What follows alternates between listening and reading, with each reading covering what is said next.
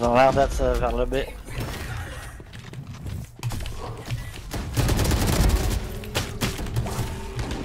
Oui, des saliums. Ah mais jeter un coup d'œil long. Reste avec Salium. Euh...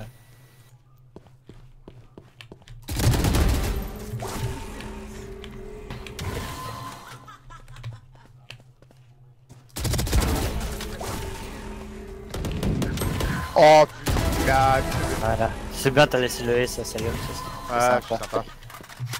Super.